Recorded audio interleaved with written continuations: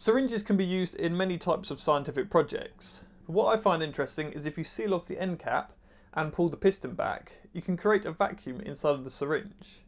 Now with some water inside and some lubrication, you get a pretty strong springing effect as the piston shoots back up to the top.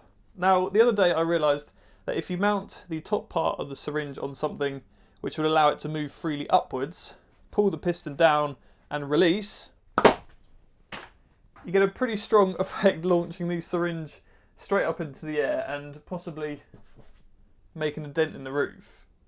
But how about we expand on this and try it with a slightly larger syringe. So to test this syringe, I'm going to have to launch it outside because I don't really fancy putting a hole in the roof of my shed.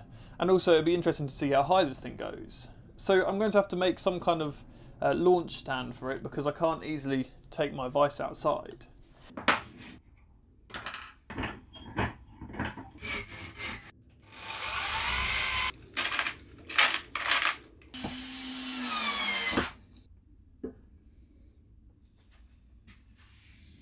Okay, so I've got the large syringe set up in its launch pad.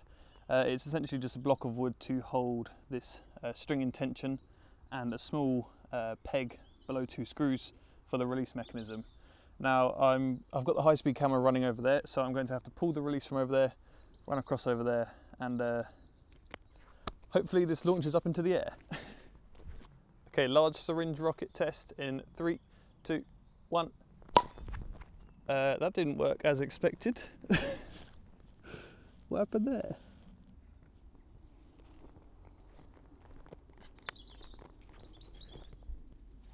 Okay, so it seems as though um, the speed of that piston moving upwards has just taken the whole top off of that syringe. Um, where is the actual piston? I didn't watch where it landed. There it is. Okay, so I've now put 20 millimeters of air inside of the piston before pulling it back. So it's not going to have um, as much of a vacuum as previously, um, but hopefully that'll prevent the top of the syringe from exploding. In three, two, one. Oh, maybe I had too much air in there. Before I continue with the testing, let's look at how these syringes launch into the air. There are three main things occurring which cause the syringe to launch. The first is the atmospheric pressure pushing upwards on the piston due to the vacuum inside of the cylinder. This tiny 10ml syringe experiences 17.7 newtons of upwards force, or the equivalent to 1.8 kilograms required to pull the piston down. The second is a conversion of this potential energy into kinetic energy as the piston accelerates to the top of the syringe, reaching a top speed of about 20 meters per second or 44.8 miles per hour in under six thousandths of a second. And finally, the momentum transfer from the piston to the syringe. As the piston and syringe are almost exactly 3.5 grams each, the final velocity of the piston and syringe combined is halved and launches the whole thing skyward at 10 meters per second. To maximise this end velocity after the momentum transfer, we need a low mass syringe and a high mass piston. However, too heavy of a piston will reduce the speed at which it hits the top of the cylinder, so there is a balance to be struck. Right, so I've now got a 5 gram piston and I've removed all the air in the hope that with the weighted piston there's less uh, kinetic energy hitting the top of the, I suppose it's the same kinetic energy, just lower velocity. In three, two, one. While the weighted piston launched the syringe a bit higher, it's still not very impressive. I think in order to improve on this syringe rocket, we need something slightly larger. Something like this. To turn this acrylic tube into a giant syringe, I had to 3D print a bulkhead that will hold an O-ring at one end. This will be secured in position using three bolts threaded through the acrylic tube. But before installing the bulkhead, I need to install the piston, which was a dense 3D printed part with mounting space for lead tyre weights in case it wasn't heavy enough. Once the top bulkhead was bolted in position, the piston could be pulled back to create a vacuum, and we now have a 560 milliliter syringe, or nearly one pint.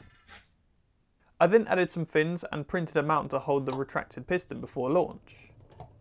Okay, so this rocket is now ready for a test.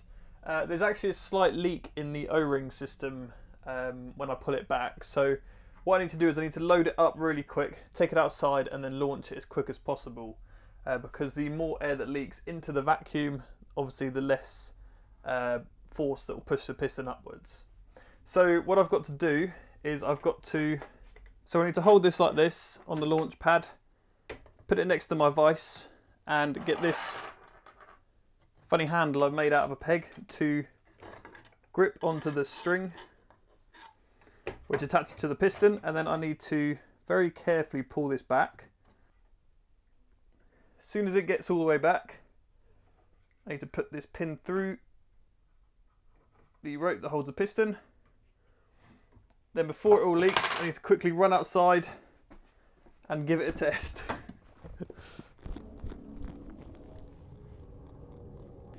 Here we go. And oh. yep, that was terribly disappointing. The piston accelerated upwards as expected, but stopped short of the bulkhead due to air leaking into the cylinder before launch. This meant the piston couldn't gather anywhere near the required speed for this thing to launch to a slightly more impressive altitude. So I decided to launch it from a table with the idea that I could pull the piston down and instantly release it, reducing the amount of air entering the cylinder. But it still wasn't great. The piston reached an upwards velocity of 19 meters per second, and due to the high mass of the acrylic tube, the end velocity of the piston and cylinder was just 4.8 meters per second. It seems like there are multiple factors that need to be fixed. One, the air leaking around the O-rings is reducing the strength of the vacuum. Two, the friction of the O-rings sliding up the cylinder is preventing the piston from reaching a high end velocity. And three, the weight of the acrylic tube is just too high, making for a low end velocity after the momentum transfer. Let's move on to plan B. Now this is known as a vacuum cannon. You may have seen videos of people previously launching ping pong balls at really high speeds uh, using a tube and pulling a vacuum inside of that tube. Now essentially how it works is the top here is sealed off with just some basic packing tape. And there is a projectile in here, this blue part here, and there is a piston. Now, by pulling on this rope, I can pull the piston downwards, and instead of holding the piston at the bottom and releasing it, launching the tube upwards, I actually pull the piston out the bottom of the tube. Now, because this whole cylinder is uh, a vacuum inside, the air from the atmospheric pressure rushes in and pushes this blue projectile up at really high speed, breaking through the packing tape and hopefully launching into the sky. So um, let's see if this actually works. Okay, here we go. Vacuum cannon test number one. In three, two, one. Well, that went high, not majorly high. okay, vacuum cannon test number two. In three, two, one.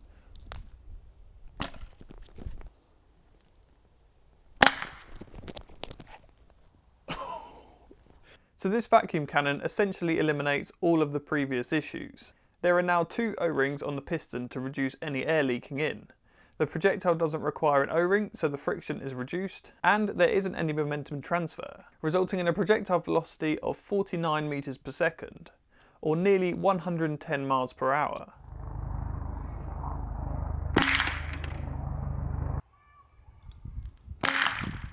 Now while this cannon may sound impressive, the pop noise is nothing but the packing tape bursting, and there is no difference in projectile speed from this to this. And considering it exits the tube at 110 miles per hour, it doesn't go very high due to a lack of stability.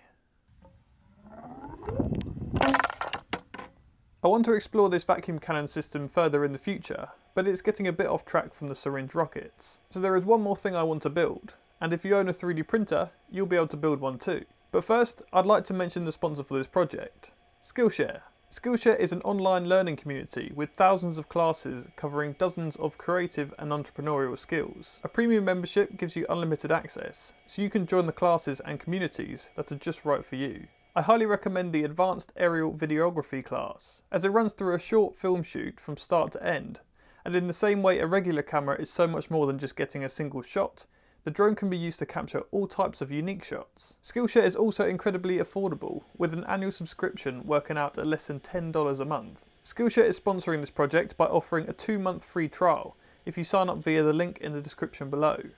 So if you want to check out more about Skillshare and help support my projects, go check out the link in the description down below. So this is a 3D printed syringe rocket launcher. I know this project has done a full circle back to the small 10 milliliter syringes, uh, but they just work so well. With the low friction piston uh, combined with the mass of the piston being very close to the mass of the cylinder, they just they they launch so well. And by pressing down this small tab, uh, they they launch quite violently too. now, if you want to build this syringe rocket launcher at home, uh, the download files for it will be down in the description below. Uh, so if you have a 3D printer yourself or you know of a 3D printing service nearby, uh, you can build your own syringe rocket launcher. Now I've tried different types of syringe brands. Uh, this is a slightly more expensive version uh, because it has a screw-on cap um, and these work really well. They're really easy to set up. But this is also a cheaper version and these also fit this launcher and work quite well. What I do is I suck up some water into the syringe, which helps to get rid of any air bubbles inside of the syringe, as well as acting as some lubrication. I then use a hot glue gun to inject hot glue into the nozzle of the syringe and pull the piston back slightly to suck the hot glue in. This creates a pretty good seal and it works perfect for these rockets, as well as the hot glue on the end acting like a bit of a buffer if you hit anything hard. Um, it sort of protects the, the nozzle end of the syringe. To load the syringe onto the launcher, you just place a syringe at the top and the handles of the syringe should fit there. And then you pull the plunger down, hook the handle into the tab, and then you just press this button to release. Now obviously safety precautions, don't load this thing with your head above it.